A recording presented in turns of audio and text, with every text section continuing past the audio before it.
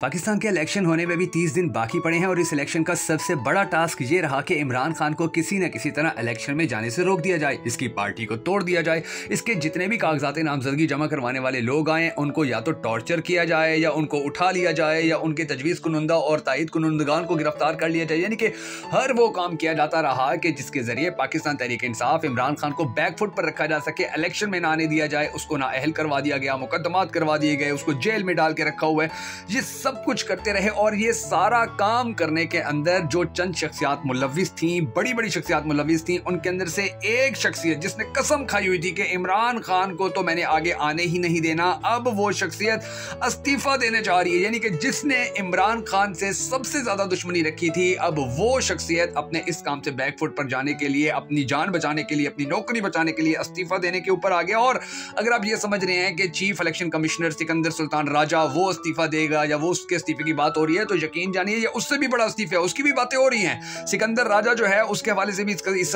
इस किस्म की डिस्कशन चल रही है मगर जिस बंदे का मैं आपको बताने जा रहा हूँ यकीन जानिए कि ये ऐसे समझे कि एक जड़ थी जो जड़ कट चुकी है। यानी कि इमरान खान के खिलाफ इस्तेमाल होने वाली जो सबसे बड़ी ताकत थी अब वो इस काम से अलहदा होने जा रही है जो इमरान खान को घर भेजने की ख्वाहिश रखता था वो खुद अब घर जा रहा है। अच्छा इसके बाद अदालतें जो हैं वो हफ़्ते के दिन यूजली पाकिस्तान के अंदर नहीं खुलती हैं मगर आज एक बहुत बड़ा फैसला मुतव है शाम तक, क्योंकि अब जो सिचुएशन बन चुकी है, ये सिचुएशन ऐसी है कि इलेक्शन के दिन इंतहाई सर के ऊपर आ चुके हैं। जो काम करना चाहिए था, वो काम नहीं किया गया। इसके नतीजे के अंदर फिर जो रिज़ल्ट आने चाहिए थे इलेक्शन के हवाले से, वो रिज़ल्ट भी सामने नहीं आ सके। यानी कि इलेक्शन को आप देखें कि किस तरह से मतनाज़ करने की कोशिश की जा रही है, या इलेक्शन को किस तरह से जो है वो रोकने के लिए काम किया जा रहा है। ये सब कुछ जो किया जा रहा था, आज शाम तक इसके ऊपर भी एक बहुत बड़ा फैसला सामने आने की उम्मीद की जा रही है। और फिर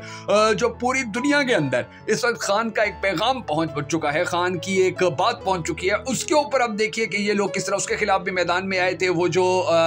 इकोनॉमिस्ट के अंदर खान का कालम छपा था, उसके उसके खिलाफ ये मैदान में आए। तो फिर इनको वहाँ से भी अब बहुत बुरी तरह शिकस्त का सामना करना पड़ा, रुसवाई का सामना करना पड़ा। वहाँ से भी ये मजीद बेजत हो गए हैं। ये भी सारा मामला जो है आज के वीडियो के अंदर मैं आपको बताऊँगा, आपको सुनाऊँगा। मगर उससे पहले हमेशा की तरह हम सबको अल्लाह तबारक तला की ज़रूरी दुआ भी करनी है कि हमारे पाक परवरदिगार, हमारे मुल्क के हालात के ऊपर है फरमा, हमारे मुल्क के हालात को बेहतर कर, पाकिस्तान का अगला वजी अजम उस शख्स को बना कि जिससे पाकिस्तानी कौम बड़ी टूट कर मोहब्बत करती है और वो भी पाकिस्तानी कौम से बड़ी टूट कर मोहब्बत करता है। अगर आप भी हम सबके साथ मिलकर इस दुआ के अंदर हमेशा की तरह शामिल होना चाहें तो कमेंट सेक्शन के अंदर हमें ज़रूर लिख दीजिएगा। मैं हूँ शकील हैदर और आप देख रहे हैं आपका most favourite channel Baga facts अब नाजरीन नाजरीन ग्रामी कुछ इससे पहले जो मैंने आपको ये खबरें बताई इससे पहले एक दो खबर और आपको सुना देता हूँ कि जो ये खबर सामने आई कि जी एक तकरीब हुई और उसके अंदर आसिफ अली सरदारी साहब जो है भगदड़ मचने के नतीजे के अंदर वो जख्मी हो गए अब उनका ऐसे मौके के ऊपर जख्मी होना, यानी कि कोई भी बड़ा हादसा हो सकता था और इलेक्शन रोकने के हवाले से जो काम किए जा रहे हैं, जिस तरह से बातें बनाई जा रही है, जैसे मौलाना फजल रहमान कह चुके हैं, मेरी पार्टी को खतरा है, मेरी जान को खतरा है। फिर डेर इसमाइल खान के अंदर उनकी फायरिंग के हवाले से भी बातें सामने आई थी।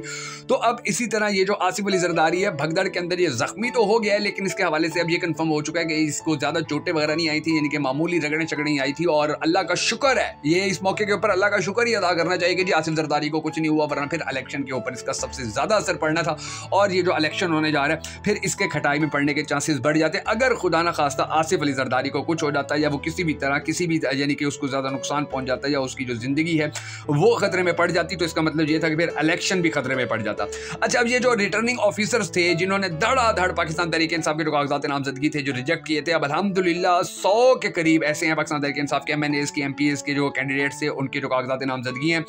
वो मंजूर हो चुके हैं, उनको मंजूर कर लिया गया और ये कहा जा रहा है कि दस जनवरी से पहले पहले पाकिस्तान तरीके इंसाफ के पचानवे फ़ीसद तक जो कागजात नामजदगी थे, वो सारे मंजूर करवा लिए जाएँगे और ये प्लान का हिस्सा नहीं था, नाजरीन करामी ये प्लान के अंदर नहीं था कि जी कागजात नामजदगी पहले जाए अगर कागजात नामजदगी मंजूरी इतनी आसानी से करने थे तो फिर सोचिए कि पहले क्यों इतनी ज़्यादा बदनामी पाकिस्तान की होती रही कि जी वो देखे, बंदे पकड़ के, गरीबानों से पकड़ के लेकर जा रहे हैं, जो कागजात नामजदगी जमा करवाने वाले लोग थे।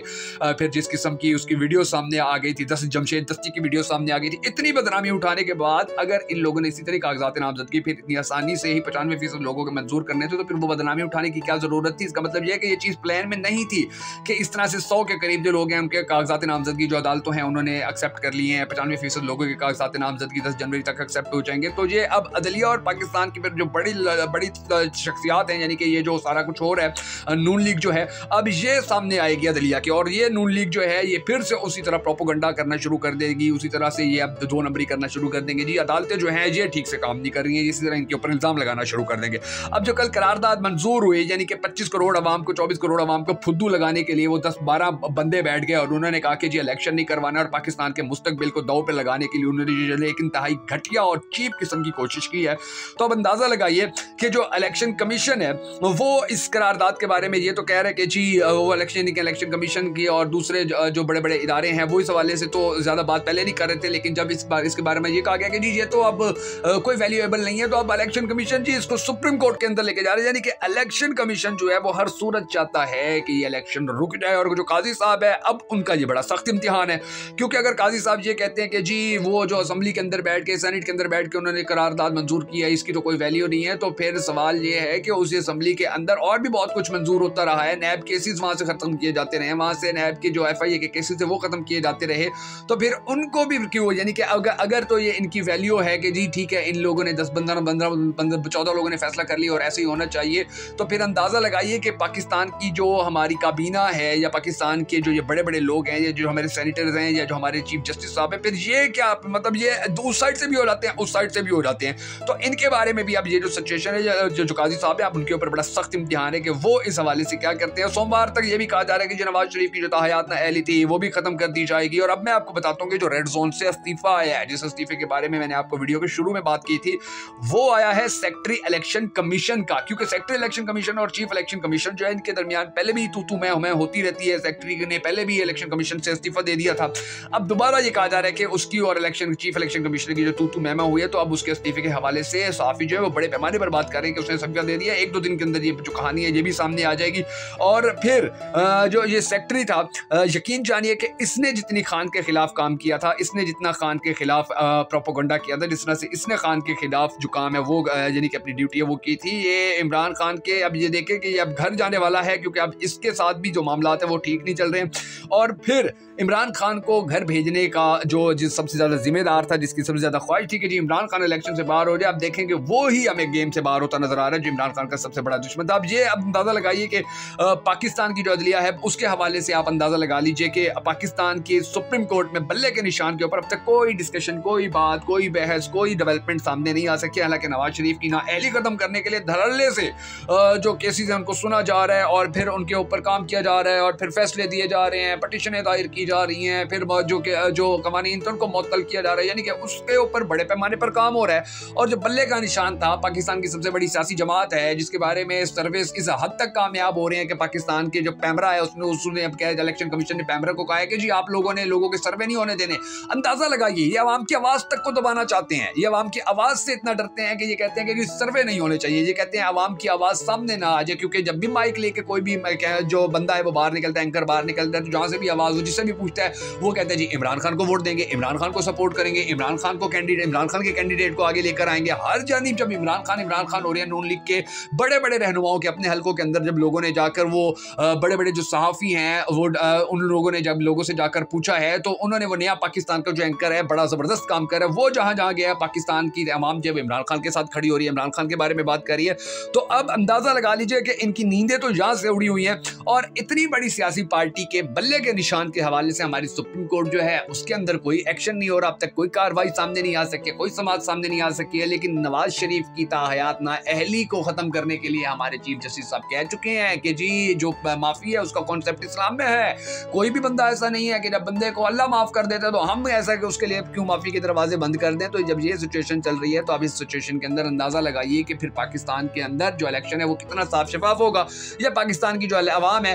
वो फिर इस इलेक्शन को अभी देखें वो इमरान खान का सगा कज़न है वो जियो के ऊपर आकर तजिया करने वाले वो जो, जो वो कितने ज़बरदस्त तरीके से अब वो भी ये बात मानने को तैयार नज़र आते हैं कि जी ये जो पाकिस्तान के ये जितने भी नून लीग थी मीडिया था ये सारे लोग थे अदली यानी कि ये इलेक्शन कमीशन था अदलिया को तरह ब्लैकमेल करने की कोशिश की जाती रही सब काम किए जाने के बावजूद भी इमरान खान का रास्ता नहीं रोक पाए हैं। इमरान खान अवाम के दिलों में है अवाम के दिलों से इमरान खान को नहीं निकाल पाए हैं। ये इनके लिए सबसे बड़ी परेशानी सबसे बड़ी टेंशन है और वाहिद टेंशन ये है कि जिसके पास तोड़ नहीं है। ये आइन को मुतल करके इमरान खान की मोहब्बत अवाम से, अवाम के दिलों से नहीं निकाल सकते हैं। ये इमरान खान को जेल में डाल के अवाम के दिलों से इमरान खान की मोहब्बत नहीं निकाल सकते हैं। ये उसके कैंडिडेट्स के कागजात नामजदगी छीन कर अवाम के दिलों से इमरान खान की मोहब्बत नहीं निकाल सकते हैं। ये इनके पास इस मसले का कोई तोड़ नहीं है। ये जो कवानीन है, वो भी मुतल हो सकते हैं। पाकिस्तान के जो अंदर आइन है उसको भी ख़त्म किया जा सकता है। पाकिस्तान की अदालतों को भी बदनाम किया जा सकता है। रुसवा किया जा सकता है। वकार गिराया जा सकता है। इलेक्शन कमीशन को घर की लौंडी बनाने की कोशिश किया जा सकता है। पुलिस उसको अपने घर की नौकर बनाने की कोशिश किया जा सकता है, हर काम किया जा सकता है।